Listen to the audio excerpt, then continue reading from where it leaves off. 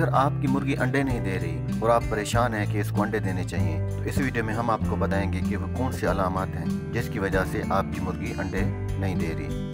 اور آپ کیا کر سکتے ہیں؟ جو دوست نئے اور ابھی تک چینل کو سبسکرائب نہیں کیا، پلیز سبسکرائب کر لیں اور بیل آئیکن کو پریس کریں تاکہ ہر نئی آنے والی ویڈیو کی نوٹیفیکیشن آپ تک پہنچ سکے۔ اگر آپ کی مرغی انڈے نہیں دے رہی، تو اس کا مطلب یہ ہے کہ آپ کی مرغی ایک بونڈ ہو گئی ہے۔ کچھ علامات ہیں جو آپ نے اپنی مرغی میں دیکھنی ہے جب مرغی انڈے نہیں دے رہی ہوتی تو اس کنڈیشن کو، اس حالت کو ایک بونڈ کی حالت کہتے ہیں۔ اس میں کہ جب آپ دیکھیں کہ آپ کی مرغی کھانا نہیں کھا رہی اور کھانے میں کوئی دلچسپی نہیں ہے پورے دن میں، تو آپ کی مرغی ایک بونڈ ہو سکتی ہے اور ایسی مرغی پانی بھی نہیں پیے گی۔ کھانے کے ساتھ ساتھ آپ نے یہ بھی نوٹ کرنا ہے کہ آپ کی مرغی اپنے آپ کو ریلیف کر رہی ہے، جیسے چونچ سے تھوڑا تھوڑا اپنے آپ کو صاف کرتی، ایسا کر رہی ہے۔ جب ایک بونڈ ہوتی ہے تو یہ اپنے آپ کو اس طرح صاف نہیں کرتی۔ اس کنڈیشن میں مرغی سست بھی ہوتی ہے۔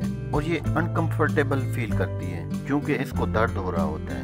بے چینی کی وجہ سے یہ اپنے گھونسلے میں جائے گی، پھر باں واپس آئے گی اور یہ آتی جاتی رہے گی۔ اس کو سکون نہیں ہوگا۔ لیکن ایک چیز کا خیال بھی رکھنا ہے کہ کچھ مرغیاں کچھ عرصے کے لیے وقفہ بھی کرتی ہیں۔ اس چیز کو اپنے ذہن میں رکھنا ہے۔ اس حالت میں آپ کی مرغی کی شکل تھوڑی مختلف ہوگی، جیسے اس کا چہرہ اور اس کی جو مور ہوتا ہے وہ پیلا پڑ جائے گا۔ اور جب یہ چلے گی تو تھوڑا سا ڈیفرنٹ چال ہوگی، جیسے نارمل چلتی ہے اس طرح یہ نہیں چل پائے گی۔ ایک اور علامت یہ ہے کہ مرغی کے پیٹ میں درد ہوگا۔ اور ایسے لگے گا کہ جیسے مرغی انڈے دینے والی۔ اور اس کا جو پیٹ ہوگا وہ تھوڑا سخت، اور ایسی مرغی کو پیچت بھی لگے ہوتے ہیں، موشن ہوگا ڈیریا ہوگا۔